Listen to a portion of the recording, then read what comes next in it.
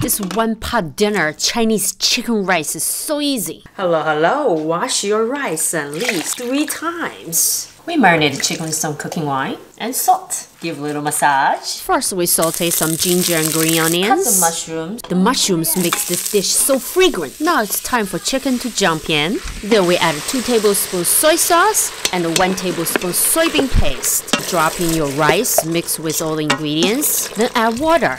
Set the pot on rice for 12 minutes.